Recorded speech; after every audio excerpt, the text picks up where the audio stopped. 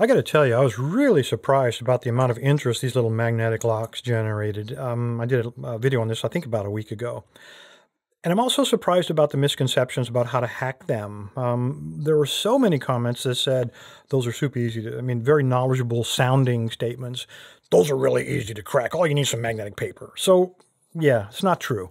Let's talk a little bit about magnetic paper and how it can help us, but certainly it's not going to help us with just a log. So let's talk about how magnetic paper works.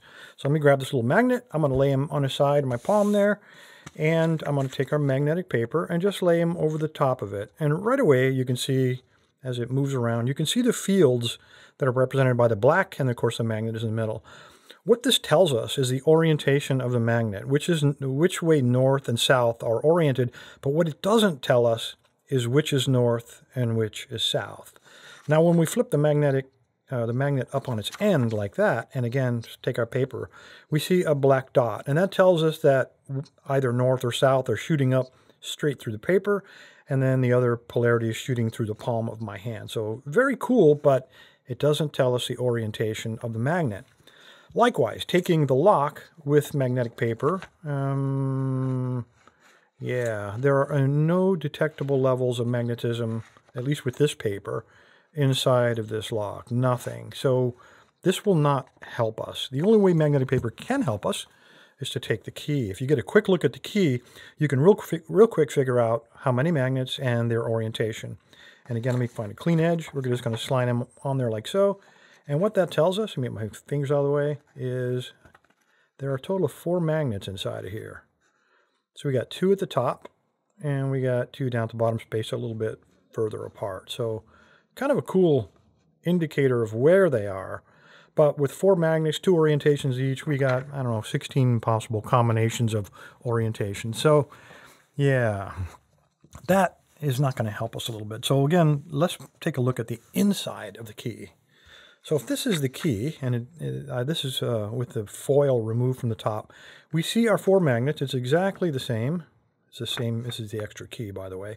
And it's ingenious the way they did this. They have these clover leaf cutouts, and inside the clover leaf, they put a magnet in one of the orientations. So you got 5 o'clock, 11 o'clock, 3 o'clock, 11 o'clock. They put the magnets in there and they fill up with epoxy, they let it dry, and then bang, there's your key. So there's any number of different keys because you can use all those positions. So let's look at it from a practical perspective. Um, when you put magnets close together, they like to they like to orient themselves and then stick together. Now they're going to track north to south. Uh, like poles are going to repel. So if I take this magnet off the top of here and I'm trying to position him inside of that clover leaf in a very, you know, in an adjacent cylinder. If I try to put him in there and before the glue dries, that magnet is going to pull itself out of position and it's going to do its best to flip over. So I can tell you we can greatly narrow down the combinations here. I can tell you and I, that these two magnets, if that is north, then that is south, and vice versa and the same for these guys because they're in fairly close proximity. And that way, when I put the magnets in there, they're probably going to stay pretty well located. They're not going to try to snap to each other while that glue dries. Okay, let's take that information, what we got, and let's break our little magnets apart here. And I'm going to orient these guys side by side so that the north and the south are here, and there's a north and south on the bottom as well. Set him aside, and hope it doesn't snap to anything. We're going to do the same thing with this guy. Again, north to south. And let's get, let me set him over there so again it doesn't snap. Let's get one more look at our key to get the spacing down. And I remember, it's going to be reversed when we flip this key over. So we got roughly a half inch from the top. We got two, and then roughly a half inch from the bottom, I guess. We have two more. All right, I think I got it. We'll try it. Let's take this guy, set him about a half inch, about right there. Let's take this guy. Uh, I think that was right. I've already lost the, lost the bubble here. So if we flip it over, it's going to be on the left. Glad we looked at that. So he's going to be like that. And he's going to be the same, perhaps a little bit off, but all right. That's about right. Um, I don't feel any influence on the inside of there. I'm going to try to pull it, see if we got it right the first time, and we don't. All right, so that tells me the orientation of one or both of these is wrong, but because of the way these magnets attract, there's only four possible combinations. So let's do it. Let's take this guy, and flip him around. So we're basically switching the north and the south orientations. Put him right there like he was and give it a little tug. And again, wrong answer. All right, so he must be wrong. I didn't have an idea we are going to try all four combinations, and there it is. So now we've got them oriented correctly.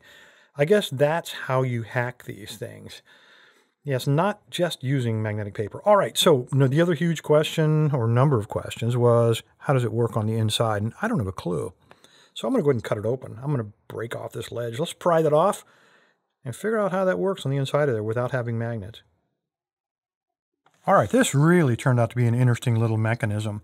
Uh, pretty simple, but here's how it works. Remember this uh, locking shackle is spring-loaded in reverse. It pulls itself closed. And I wondered about that, and now I know why. Because when you pull on this, the locking shackle can't come open because the locking pawl is in the cutout. And the way that you move that out of the cutout is on the back here, there's a little lever, and every time you pull on that, that little lever is trying to push that locking pawl in that direction. It can't move up because these four little dancing posts have to line up perfectly with the holes inside of this locking pawl. So what this tells me is, you know, this factory probably has 20 or 30 different locking pawls, all with those holes in different places, and that would constitute different keying. So what we need to do is line up those posts with those holes so that this thing can retract. So I'm going to take this and slide it on there. Watch what happens to those posts. I'll hold it up close. And when you slide that on there, it influences those at different angles because these little rosettes pull the top of those posts at different angles. And again, lines up pretty much perfectly. Make sure that's in the groove. And then when you pull, they line up and you should be able to get an open. There we go. So very cool. So how do we whip it? Well, you guys saw. We, we can read the key with magnetic paper and then get magnets roughly in the same place. And these little magnets do a pretty good job of lining those posts. But, you know, a lot of luck's involved. If you're going to slide it back and forth like I've done to kind of, you know, magnetically bump it, you can do that. And just keep pulling as you slide that thing back and forth. And hopefully eventually you get in. Or you can go with a magnum. Now, here's what I didn't realize. When I use the lamello and I'm losing it, uh, rotating it at very low speed, those, I'm going to hold it up closer to the camera, those little dancing guys, they're moving quite vigorously, even at low speed. And I'm going to put my thumb here because if I don't at high speed, it'll pull all the guts out. So when it goes at high speed, it's almost, they move so fast you can't see it. It's just incredible how quickly those little guys move around inside of there. So the limiting factor is not the lamello. In fact, the limiting factor is your finger. How quickly can you pull it? Because literally, you know, I joked about that being a bump finger. That's exactly what's happening. Every time you pull, you're hoping uh, that those posts are lining up with those holes. It's probably lining up 50 times for every once that I pull and get an open. So, yeah, it's probably a lot more effective than what we realize. Anyway, guys, there you go. The magnetic lock. Appreciate your time. Stay safe. Stay legal. All right, just for fun, let's see, let's see how this lamello tool works. Again, for the you guys who haven't seen it, we have giant magnets on the inside of there, four of them opposing, and then when you pull the trigger, it spins, that's counterclockwise, and then reversing drill, you can do it the other way, and we can also look at the end of it. So a lot of different ways to spoof magnetic fields with this thing, and you can really see them when you take the magnetic paper and you put it up there. So now, clockwise, different speeds, so we're, we're fluctuating that magnetic field hundreds of times per second as they spin around. And if I want to, I can put it on the end, and we can do that as well. So just a very powerful magnetic field, like a magnetic storm, I think is how I defined it in the original video. That's how we spoof that magnetic lock.